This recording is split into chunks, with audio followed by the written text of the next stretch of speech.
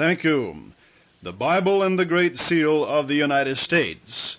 I do pray the last several broadcasts have been interesting enough that many of you folks have decided to follow with me in the Bible as I expand this series to show that both our official emblem, the Great Seal, and America itself can be found in God's holy Word.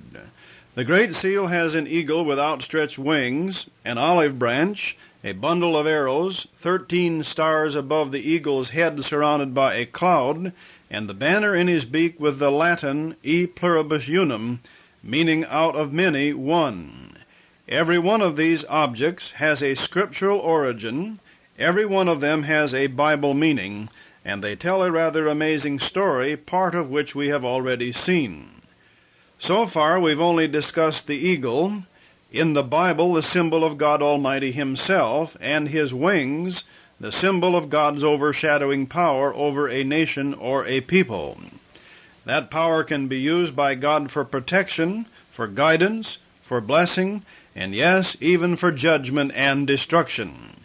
As you have perhaps already realized, America has had God's blessing far above any other people, but we are now coming under the judging hand of God because of our national and personal sins.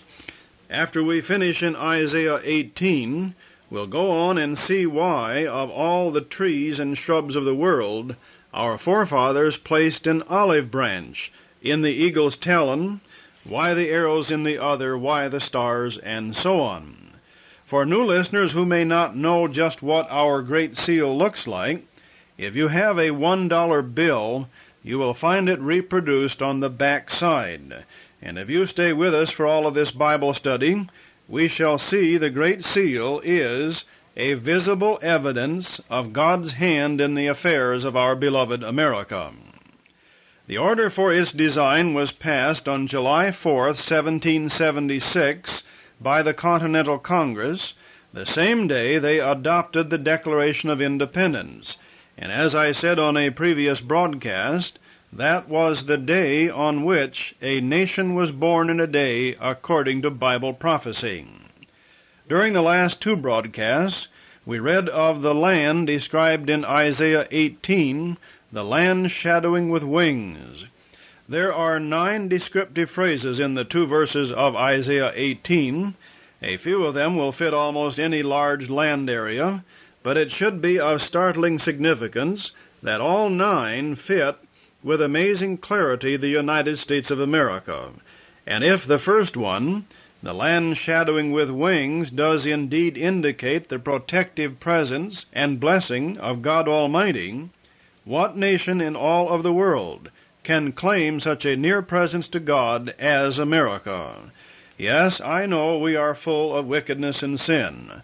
I know our present leaders are practically all non Christians, and have little, if any, respect for God and His Word, but that does not change the truth of our past history, that the United States of America had a Christian foundation laid by our forefathers. America, of all the nations of the world, most nearly fits the Zion of the Holy One of Israel, spoken of so often in the prophetic scripture. We got only as far as verse 3 of Isaiah 18. All ye inhabitants of the world and dwellers on the earth, see ye, when he lifteth up an ensign on the mountains, and when he bloweth a trumpet, hear ye. The trumpet in Scripture is a prophetic symbol for God's Word, or more particularly, the preaching of that Word. So, the world was to look and see an ensign on the mountains when they heard the Word of God being preached. An ensign is a sign or a flag or a banner, identifying the people or the place hoisting the banner. And we then turn to Isaiah 11, where God had proclaimed through the prophet just what that ensign was, the world would see being raised on the mountains. In just a moment we will continue in Isaiah 11, but first I will offer our free literature for the month of October. Everyone likes fairy stories and I have written a small booklet about one, Cinderella. You all know the story, so I won't repeat it here, but how many of you know that Cinderella is a Bible story? Well, it is, and a beautiful one. So when you write, I will send you my 24 page booklet, Cinderella, a Bible Story. In it, I show the biblical identity of the prince, the wicked stepmother, the stepsisters, the godmother, the carriage, the ball, the palace, and yes, Cinderella, of course. Once you read this, you will probably wonder why you never realized it yourself, but don't be embarrassed. Millions of our people have read and heard and saw scores of versions of Cinderella without ever realizing it was an allegory of the Prince of Peace, Jesus Christ of Nazareth, and the Bible story of his bride. And there I've given away the key, and now you know it all. No, you don't. You write for it anyway. I am sure you will enjoy this little book, Cinderella, a Bible Story. Then we have two more smaller articles, one by Professor Revilo Oliver, Christianity, Religion of the West. Professor Oliver makes the statement with which I agree that past and present history gives adequate proof that Christianity is the unique possession of the white race, and that in spite of our long and valiant efforts to teach our religion to other races, and in spite of the glowing reports about Christian missionary work among the heathen, we have failed in our efforts to plant Christianity among the colored peoples of the earth. This is not a long, vague argument against missions, but a short and to the point four page article which should be read by every churchgoer in the nation. Professor Oliver says more in these four pages than most of us can do in forty. You should read it. Christianity, Religion of the West. And then I'll send along a small tract of mine which answers the question, Who are the Israelites? Address your letter or postcard to America's Promise, Box 5334, Phoenix, Arizona 85010. I am Pastor Emry, and the broadcast is America's Promise. But if you can't remember either of them, just be sure you get Post Office Box 5334, Phoenix. Back to our study of the Bible and the Great Seal of the United States. We were reading in Isaiah 11 to identify the ensign spoken of in Isaiah 18. In verse 10 of Isaiah 11 we read, And in that day there shall be a root of Jesse, which shall stand for an ensign for the people. The phrase, root of Jesse, which is elaborated on in verse 1, makes the ensign easily identifiable as Jesus Christ. Jesse, of course, as you Bible students know, was the father of David, and Jesus came through the Davidic line. The verses in between make it plain the prophet is speaking of he who would rule over the people of the earth in an age when the wolf would dwell with the lamb, the leopard lie down with the kid, the lion eat straw as the ox, and so on in verses 6 and 7. In verse 9 it says, The earth shall be full of the knowledge of the Lord as the waters cover the sea. And then comes the prophecy, And in that day there shall be a root of Jesse which shall stand for an ensign of the people. Again, an ensign is a flag, or a banner, or a sign, proclaiming the identity or allegiance of the people who fly that ensign. If Jesus Christ is the ensign, and he is, then the people spoken of here in Isaiah would have to be a Christian people.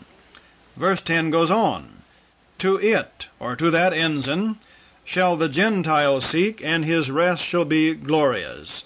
Gentiles here comes from the Hebrew word goy, and it is usually translated nations or peoples. To it, to the banner of Jesus Christ, shall the nations seek that that seeking or that congregating under that banner or ensign would come before the kingdom age is made plain in the next verses, which prophesy at some length about the regathering of the Israel people. The implication here being rather clear that the Israel people would be regathered from various parts of the earth by coming to or giving their allegiance to the ensign to Jesus the Christ. Verse 11, And it shall come to pass in that day, what day? Well, the day spoken of in the previous verse, when the root of Jesse would stand for an ensign of the people. And it shall come to pass in that day that the Lord shall set his hand again the second time to recover the remnant of his people, which shall be left from Assyria, from Egypt, and from Pathros, and from Cush, and so on. And he lists the former abodes of the Israel people. In the next verse, we can see this regathering is a great event. And he shall set up an ensign, and here is that word again, which stands for Jesus Christ. And he shall set up an ensign for the nations, and shall assemble the outcasts of Israel, and gather together the dispersed of Judah from the four corners of the earth. Several things are obvious here, and of vital importance to our study of America in the Bible. First, this regathering of the nations would be the Israel nations. Secondly, this regathering of Israel could not have been the return from Babylon. That return involved less than 50,000 people of the Judah kingdom, and they came only from Babylon. It was certainly not a huge regathering from, quote, the four corners of the earth, unquote. Thirdly, it cannot, in any way, fit the movement of a few millions of people who call themselves Jews to the land of old Palestine. I know the majority of ministers have been taught and try to teach that the Jews going to Palestine is the fulfillment of these prophecies of the regathering of Israel. But God has given us adequate evidence here, and in scores of other places in the Bible, that Israel would be regathered under the banner or the ensign of Jesus Christ. Then, to further identify the fulfillment of this prophecy, in the next verse, God gives us the direction the Israelites would travel to the land of their regathering. Verse 14, Isaiah 11. But they shall fly upon the shoulders of the Philistines toward the west. Toward the west. Now let's read the third verse of Isaiah 18 again about the ensign upon the land shadowing with wings. All ye inhabitants of the world and dwellers on the earth, see ye, when he lifteth up an ensign on the mountains. I submit to you that the colonization of this North American wilderness by a people professing Jesus Christ, by a people flying to the west, fits without a doubt these Bible prophecies. Isaiah 11 and Isaiah 18, the land shadowing with wings, can fit only this great and God blessed Christian nation. In case you know little of America's foundation on Jesus Christ, let me read some phrases from just a few of the original colonial charters of the 1600s. The first charter for the colony of Virginia from James I has this phrase for the furtherance of so noble a work, which may, by the providence of Almighty God, hereafter tend to the glory of His divine majesty in propagating the Christian religion, and so on. The chapter for the Plymouth Council stated the purpose of that settlement was, quote, in hope thereby to advance the enlargement of the Christian religion to the glory of God Almighty. The Maryland Charter ended with the statement that no interpretation of the charter itself was to be allowed where, quote, God's holy and true Christian religion might in any wise suffer, end of quote. The Rhode Island Charter said one of its aims was so that the inhabitants might pursue, quote, their sober, serious, and religious intentions of godly edifying themselves and one another in the holy Christian faith and worship. The Mayflower Compact, which we all used to memorize in school years ago, stated that its signers had undertaken to plant this colony, quote, for the glory of God and advancement of the Christian faith, unquote, and on and on. There is only one America. There has never been another like it. There shall be none like it in the future, and we alone, of all the peoples of the earth, were gathered from foreign lands, from the ends of the earth, coming to the ensign raised upon the mountains, Jesus Christ held up before all nations, and proclaimed as sovereign and Lord by those who came. Yes, America is without doubt the land shadowing with wings beyond the rivers of Ethiopia. America is the land to which millions came, seeing and hearing the beacon light of Christian liberty burning brightly on the fair shores of the ancient wilderness. The people of the world took heed and watched in awe as a little one, a people terrible from their beginning, became a thousand, and a small one a strong nation. And before we read on, I should mention that wonderful book, The Christian History of the Constitution. We have it available, and you'll find the true history of America has been searched out and put in print in this book. It is not in the public schools, it should be, but it is not, but praise God, it is being recommended and used by some church and Christian schools in America. It is available for an offering of $10 to this ministry. My address is America's Promise, Box 5334, Phoenix, Arizona 85010. Remember that box number 5334. This is perhaps the best textbook on the origins of our government to see print in a hundred years. It has 480 pages. It is a large book. The full title is The Christian History of the Constitution of the United States. The author begins the story in England and Europe, among the people whose conscience was being awakened by the preaching of God's Word, in what became the Protestant Reformation. America was no happenstance. God's timetable brought the discovery of America, the printing press, and the Protestant Reformation upon the world scene, and America was not the cause, America was the result of the preaching of God's Word to men who then truly believed the Bible. Where the Spirit of the Lord is, there is liberty, and they came to America. You write for the October packet, that is free. And if you want a copy of the Christian history of the Constitution, please send an offering of at least $10 to help pay for the expenses of this ministry. My address again, America's Promise, Box 5334, Phoenix, Arizona 85010. I believe there is probably no finer gift you could give yourself or your children than a book about the Christian origins of this nation the Christian history of the Constitution. All right, back to Isaiah 18. For in the next verses, it would seem that this land shadowing with wings, this land founded by a people who came at the call of the root of Jesse, the ensign Jesus Christ, is going to be cut and pruned by God Almighty. Verse 4 and 5. For so the Lord said unto me, I will take my rest, and I will consider in my dwelling place like a clear heat upon the herbs, and like a cloud of dew in the heat of harvest. For afore the harvest, when the bud is perfect, and the sour grape is ripening in the flower, he shall both cut off the sprigs with pruning hooks, and take away and cut down the branches. What is this? Do you mean to say that God will actually cut away or prune away a part of this land shadowing with wings. That's what he said. And it would happen before the harvest, while still in the bud, while the grapes were still yet sour.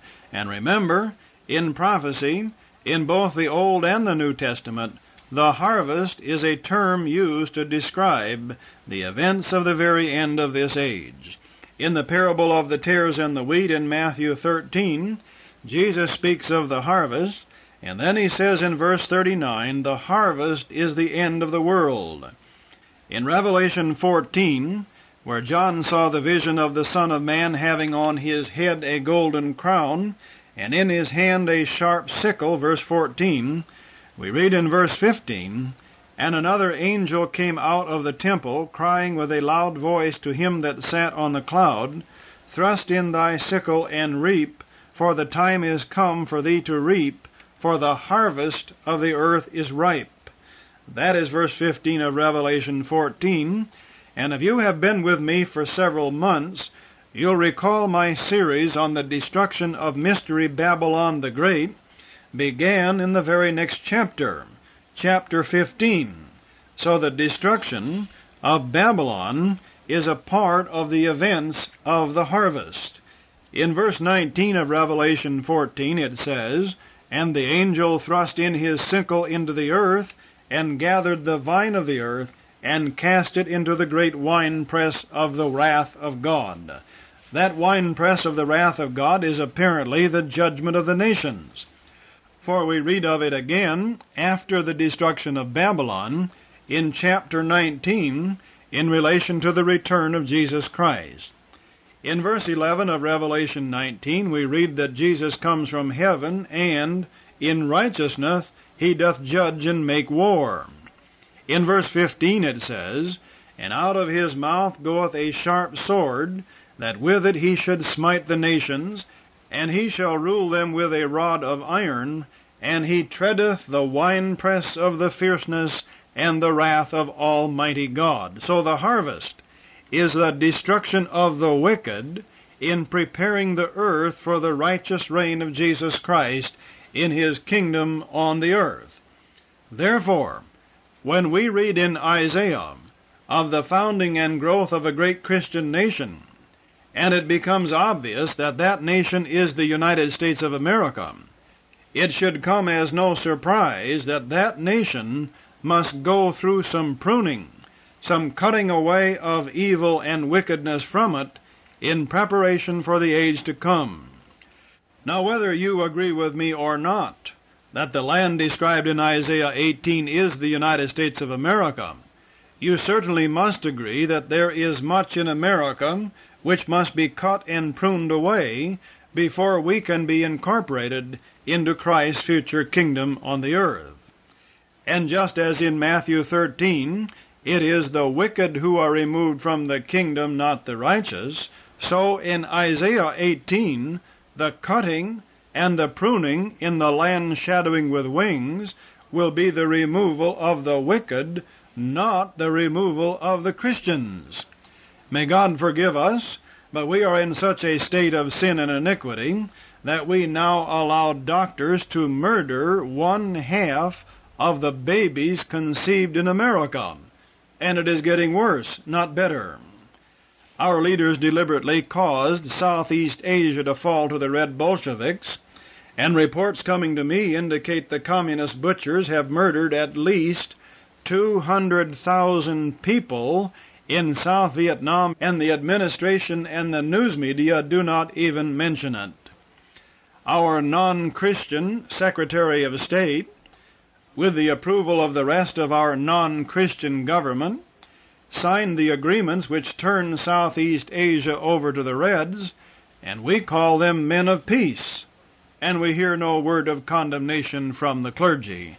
No, whether we like it or not, the wicked will be removed, false prophets will be silenced, and the proponents of economic and political ideologies in opposition to the Word of God will be taken out of the land. That is what will be pruned. That is what will be cut off in the land shadowing with wings. Before I run out of time, I should offer two other things which could be of great help to Christians who are just beginning to read and study their Bibles. I have a four and one half hour Bible study on the parables of Matthew 13. These parables show very plainly that there is no pre tribulation rapture of the church as so many teach. The rapture theory is false doctrine. It is one of the great deceptions of the Antichrist at the end of the age. I also have a book on the prophecies of Ezekiel titled, The Bible Says Russia Will Invade America. Many of you realize there is every possibility of a future war between Russia and America. But what most do not know is the war is already underway, and millions of the enemies of our nation have already invaded this land. They didn't come in military uniforms. They didn't come carrying the hammer and the sickle. They came in civilian clothes, many of them posing as refugees. Most of them have become citizens, and God only knows how many of them are now in the United States government. And all of this is foretold in Bible prophecy. Well, we didn't finish Isaiah 18. God willing, we'll do that next week and show how that brief passage foretells the cleansing of this nation, the removal of the wicked, and the turning of this nation to Jesus Christ. Then we'll turn again to the Great Seal and study the olive branch, the arrows, the stars, and so on. Until next week when I return with the Bible and the Great Seal of the United States, God willing, this is Pastor Emry saying goodbye.